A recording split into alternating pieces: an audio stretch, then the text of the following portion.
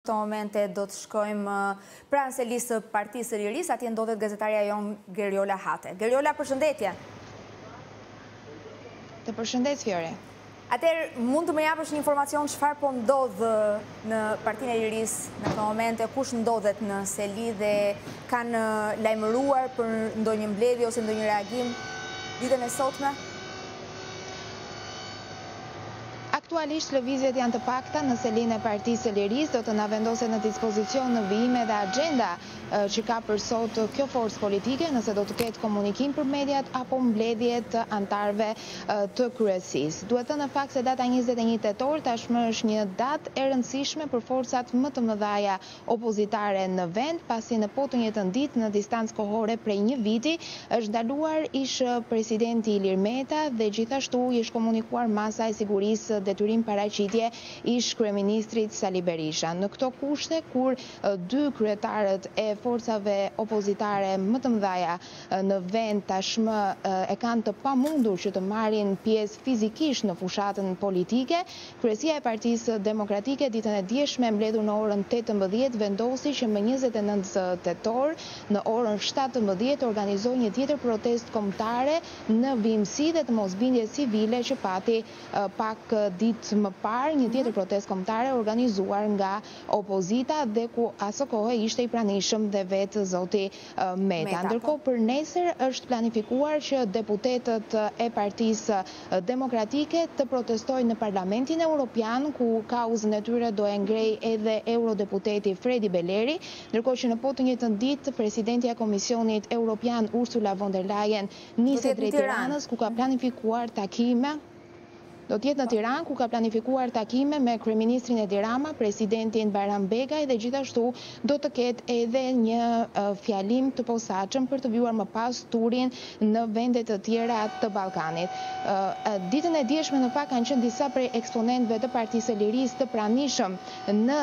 selinë e kësaj force politike, të cilët kanë qenë të shokuar në momentin e parë kur ne kemi mbërritur dhe jemi stacionuar në selinë e Partisë së Lirisë. Ata kanë janë shprehur se mënyra e arrestimit të zotit Meta është e shëmtuar dhe e papranueshme për kryetarin e një force politike, ish-president, ish-kryeministër dhe ish-kryetar Kuvendi. Kësisoj, mëngjesin e sotëm, ministri i Brendshëm Ervin Hoxha ka pasur një reagim dhe një shpjegim publik duke sqaruar se për zbatimin e vendimit të gjykatës u angazhuan efektivë të forcave lëvizëse operacionale, forcë e posaçme e trajnuar dhe specializuar për të ndjekur protokolle standarde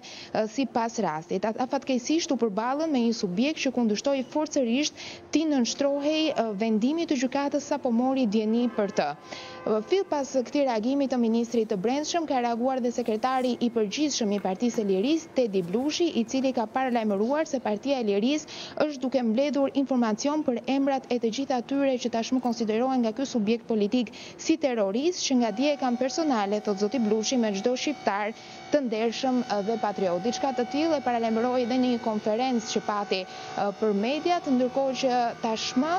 Partia e Lirisë e ka shpallur kryetarin e Prokurorisë së Posaçme, zotin Altin Dumani si kryeterrorist dhe aktin e djeshëm e konsideron një akt terrorist. Do të shihet në fakt nëse do të gjejë opozita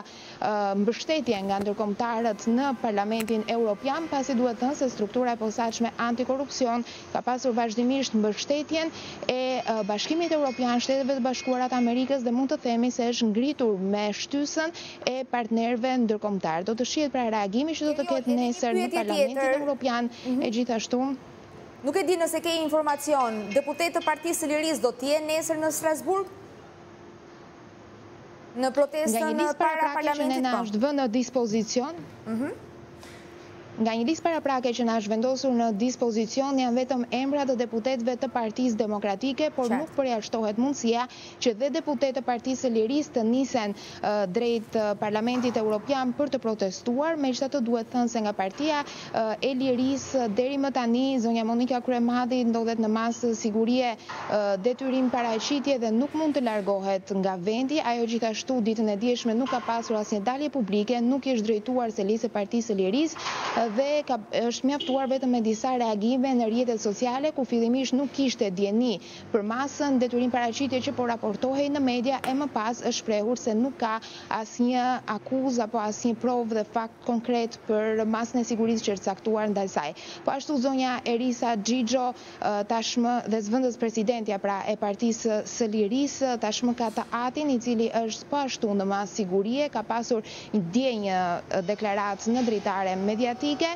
Megjithatë, për shkak edhe të situatës ku ndodhet sot Partia e Lirisë, mundësitë janë të pakta që të jetë pjesë e protestës në Parlamentin Europian, pasi duhet organizuar gjithë strukturat e kësaj force politike për të ndërmarrë tashmë një aksion opozitar në kushtet kur kryetari i ish Lëvizjes Socialiste për Integrim ndodhet pas hekurave dhe duhet thënë se që prej themelimit të saj e deri më sot kjo strukturë politike ka funksionuar me pushtetin dhe vendimmarrjen e vetme të Ilir Metës dhe Monika Kryemadhi dhe tashmë duhet të jenë vetë struktura dhe forumet që të organizohen për të vijuar aksionin politik. Të falenderoj shumë, Geriol, për të gjitha informacionet që ndave me ne. Besoj do të kemi edhe lidhje të tjera përgjatë transmetimit të sotëm. Ndërkohë, kreu i Policisë së Shtetit, Ilir Proda, ka zhvilluar një takim me kreun e spak, zotin Altin Dumani. Unë do të kemi një lidhje tjetër direkte me gazetaren tonë Alketa Shaba, e cila ndodhet pranë ambienteve të spak, vetëm pas një hapësire fare të shkurtër publicitare.